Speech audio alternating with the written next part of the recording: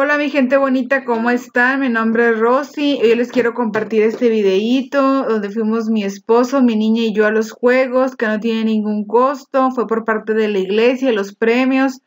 Espero que este videíto les guste y que lo sigan viendo y nos vemos para la próxima primeramente Dios. Bye.